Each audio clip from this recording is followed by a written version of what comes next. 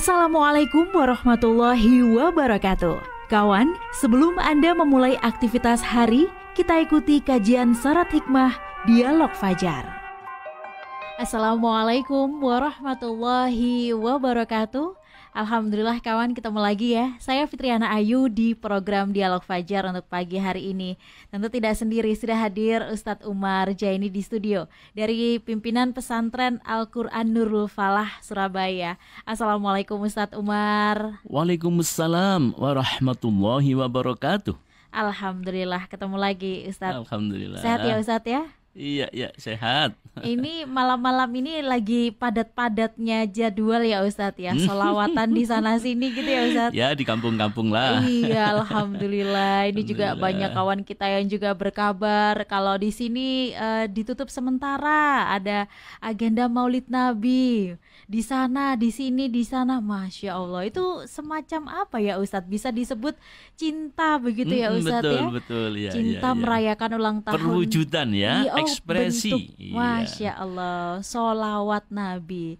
Sebenarnya itu kenapa sih Ustadz kok kita itu dengan solawat itu bisa kayak semakin cinta gitu. Ketemu saja belum pernah ya Ustadz Umar ya. Tapi kenapa juga uh, kita tuh semakin cinta gitu dengan bersolawat Nabi. Monggo selengkapnya bersama Ustadz Umar Jaini. Makasih. Assalamualaikum warahmatullahi wabarakatuh. Waalaikumsalam warahmatullahi Alhamdulillah asyhadu an la ilaha illallah wa asyhadu anna Muhammadan abduhu wa rasuluh. Allahumma salli wa sallim ala habibika sayyidina Muhammad wa ala alihi wa sahbihi ajmain amma ba'du. Ya kawan, ini saya kira masih terkait dengan peringatan kelahiran Rasulullah Muhammad Alaihi Wasallam yang kemarin sudah kita diskusikan ya Yeah. tentang bagaimana hamba-hamba yang mulia Mhm. di sisi Allah. Siapa itu? Yaitu orang-orang yang tidak pernah melihat aku kata Rasulullah, Mm-mm. tidak pernah bersamaku, tapi dalam hatinya ada rasa cinta Nah, dan semangat yang Masya luar biasa uh, untuk melaksanakan perintah-perintah Allah Mm-mm. dan yang telah disampaikan oleh para Rasulullah. Ya kawan, hari ini kita juga akan meneruskan lagi ya masih ada keterkaitannya yaitu Mhm. bagaimana kita dengan keyakinan yang ada dalam diri kita ini Mhm. agar kita dengan memperingati Maulid Nabi ini Mhm. akan semakin cinta kita pada Rasul dan semakin cinta untuk menyampaikan atau berselawat Mhm. kepada Rasulullah Muhammad Sallallahu Alaihi Wasallam. Jadi kawan, memang kalau kita renungkan, bersyukur kita ini bisa mengenal Allah Subhanahu wa taala.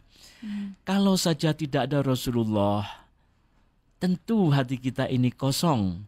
Tidak mengenal siapa pencipta langit, siapa pencipta bumi, Mhm. alam raya, dan ke mana kita setelah lahir di dunia ini, arahnya ke mana, lalu Ya. bagaimana menjalani hidup ini. Tentu kita tidak punya pegangan hidup itu. Nah, Rasulullah lah Muhammad Sallallahu Alaihi Wasallam yang mengenalkan kita kita kepada Allah Subhanahu Wa Taala. Hmm. Rasulullah yang membawa ajaran yang dianut miliaran manusia di muka bumi ini, masya Allah. Jadi kenapa kita harus semakin cinta? Mhm. Kan memang fakta-faktanya seperti ini. Yang saya bilang tadi itu, ialah Rasul yang mengenalkan kita hidup yang baik itu begini, yang tidak baik itu begini.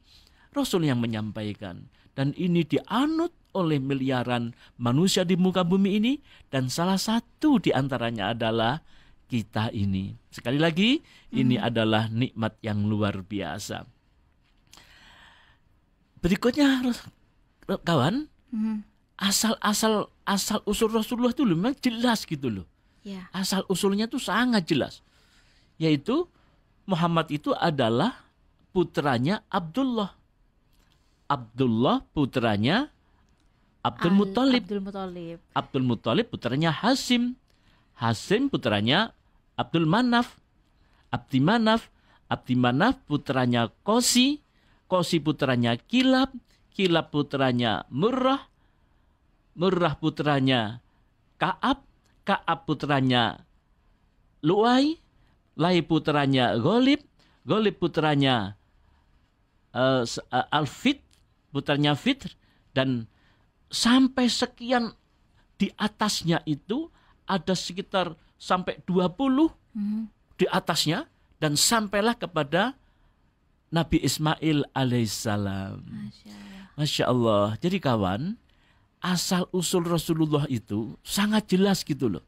Jadi kalau kita mungkin setelah orang tua kita, bapak kita, kita masih paham ya. Ya. Setelah bapak kita atau ibu kita kita masih paham, kemudian nenek, kakek kita masih paham, buyut itu sudah remang-remang gitu ya, siapa buyut Iya. kita. kemudian di atas buyut lagi sudah apa? Sudah kira-kira siapa kita sudah nggak tahu. Kita ini dari mana lagi atasnya lagi. Di Jawa itu sih ada sih apa? Sisilah Jawa itu ada Silsilah. namanya eh, buyut, canggah, Oh iya. lalu iya, apa lagi? Cicit segala macam. segala macam ada, itu. Iya, nah, betul, betul. tapi kita mungkin di atas kita sampai buyut aja itu sudah sudah remang-remang siapa di atas kita ini. Nah, Rasulullah itu keturunannya sangat jelas. Asal usulnya sangat jelas. Terus ke atas ke atas ke atas sampai demikian rupa akhirnya sambunglah kepada Nabiullah Ismail alaihissalam. Alaihissalam. Ismail putra Ibrahim. Ibrahim. Jadi dari sisi asal usulnya Rasulullah sangat jelas. Kelahirannya juga sangat jelas. Wafatnya sudah sangat jelas. Mhm. Dan tempat makamnya itu udah jelas. Ya. Makamnya jelas. Kalau nabi-nabi yang lain itu kira-kira masih dugaan-dugaan. Oh ini dugaannya makamnya nabi ini.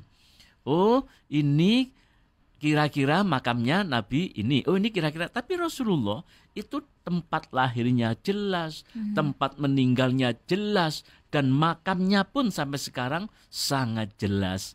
Apalagi kawan kalau kita ziarah ke Madinah, kita bisa apa namanya Napak berdoa di gitu ya, sana betul. kemudian di sampingnya makam Rasulullah itu seolah-olah Rasulullah kayak baru kemarin meninggal. Hmm. kayak baru kemarin saking apa? Saking ramainya orang berdoa yang terus tiada henti mendoakan Rasulullah. Jadi Rasulullah itu setiap detik setiap menit terus selalu mendapatkan doa dari para uh, apa uh, umatnya ini jadi kayak kayak nggak pernah meninggal Rasulullah ini kayak maksud saya adalah kayak kayak baru kemarin meninggalnya karena saking terus menerusnya disebut-sebut oleh umat manusia di muka bumi ini. Jadi kenapa kawan kita harus makin cinta kepada Rasulullah? Alasannya tadi itu antara lain ya Rasulullah yang mengenal- mengenalkan kita kepada Allah. Apa yang diajarkan sangat jelas. Dalam Al-Qur'an disebutkan wa ma arsalnaka illa rahmatan lil alamin dan tidaklah kami mengutus kamu melainkan untuk menjadi rahmat bagi alam semesta dalam surat Al-Anbiya ayat ke-107. Jadi tugasnya sangat jelas. Keberadaannya jelas, tugasnya jelas. Tugasnya yaitu untuk memberikan menjadi memberikan rahmat atas manusia dan segala yang ada di muka bumi ini. Itu tugas Rasulullah. Beliau pun juga pernah menyampaikan innama bu'istu liutammima makarimal akhlaq. Sesungguhnya aku diutus oleh Allah untuk memperbaiki, menyempurnakan akhlak manusia.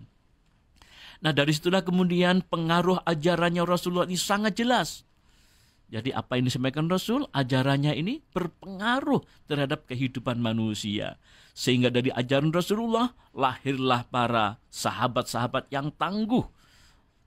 Para sahabat-sahabat yang luar biasa.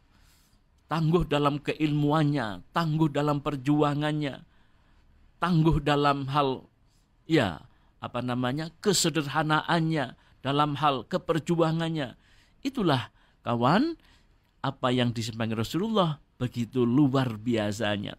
Sehingga kawan, memang kita diperintahkan oleh Allah, jangankan kita, Allah pun beserta Rasul, beserta para malaikatnya itu senantiasa bersalawat kepada Rasulullah Muhammad sallallahu alaihi wasallam. Dalam Al-Qur'an, "Innallaha wa malaikatahu yusholluna 'alan nabi ya ayyuhalladzina amanu sallu alaihi wa sallimu taslima." Sesungguhnya Allah dan para malaikatnya bersalawat untuk Nabi. Hai orang-orang yang beriman, bersabat, bersolawatlah untuk Nabi dan ucapkanlah salam penghormatan kepadanya. Surat Al-Azab ayat ke-56. Jadi kawan, sangat jelas hmm. apa yang telah diajarkan oleh Rasulullah, asal usulnya, hmm. dan yang saya sebut tadi kawan, jadi Mbak Yu yang saya sebut tadi yeah. ke ya. atas tadi itu, Nabi putranya Abdullah, Ab, ya, cucunya Abdul Muthalib dan seterusnya sampai iya. terus ke atas itu, ya. ternyata mereka ini adalah memang orang-orang yang terkenal, orang-orang yang punya track record baik di masyarakat, di masyarakatnya. Hmm. Sehingga maka wajar ketika itu kemudian melahirkan Rasulullah Muhammad SAW sehingga nama Rasul itu sangat cepat dikenal di masyarakat karena memang dari keturunan orang-orang yang baik. Jadi penting sekali kawan kita sebagai orang tua ini mm-hmm. ya bukan berarti apalah artinya keturunan ya penting juga tapi memang keturunan itu penting jika kita bisa meniru kebaikan-kebaikan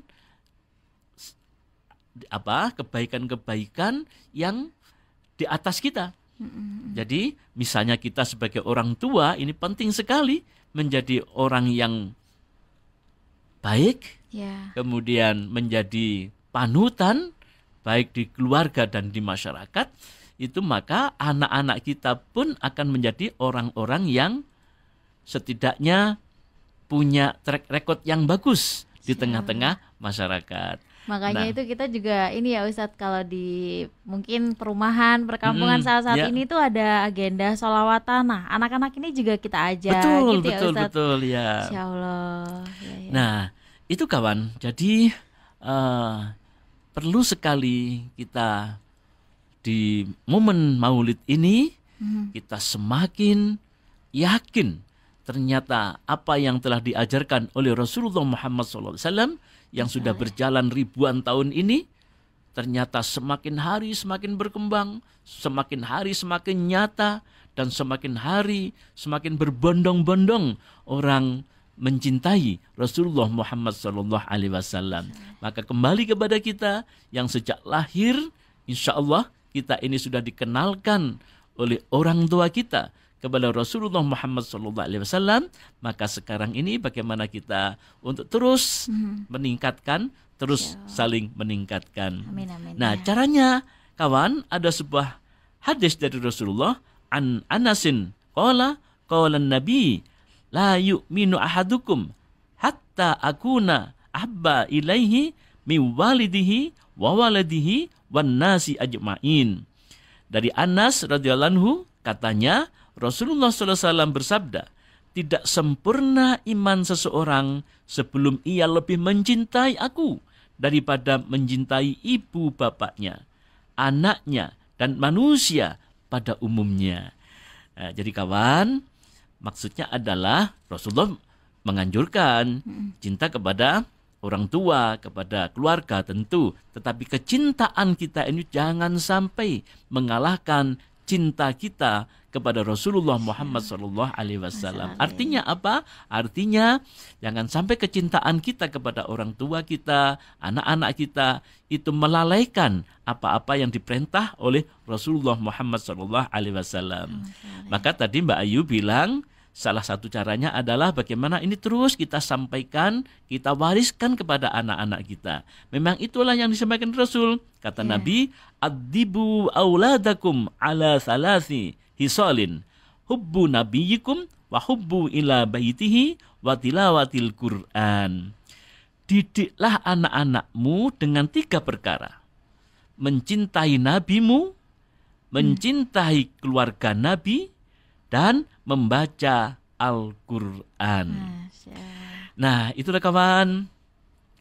Bagaimana kita di samping kita diri sendiri terus menerus kita lebih tingkatkan lagi kecintaan kita kepada Rasulullah dengan hmm. cara melaksanakan apa yang disampaikan oleh Rasul, hmm. yang diperintahkan oleh Rasul, ajaran-ajarannya, lalu kita juga bagaimana mewariskan nilai-nilai ini kepada anak-anak dan keluarga kita. Amin amin ya rabbal alamin. Terima kasih Ustadz Umar sudah mengingatkan soal makin cinta kita pada Nabi Muhammad dengan bersolawat. Demikian juga kawan dialog Fajar pagi hari ini. Saya Fitriana Ayu dan juga Ustadz Umar Jaini pamit. Wassalamualaikum warahmatullahi wabarakatuh. Waalaikumsalam warahmatullahi wabarakatuh. Program Dialog Fajar yang baru Anda simak kerjasama Suara Surabaya dan Pesantren Al-Quran Nurul Falah Surabaya, lembaga dakwah yang amanah, profesional, dan berbasis Al-Quran. Pesantren Nurul Falah mencetak guru-guru Al-Quran dengan metode tilawati dan tafidz Al-Quran. Informasi dan pemberian donasi hubungi 031 828 1278 atau nurulfalah.org. Wassalamualaikum warahmatullahi wabarakatuh.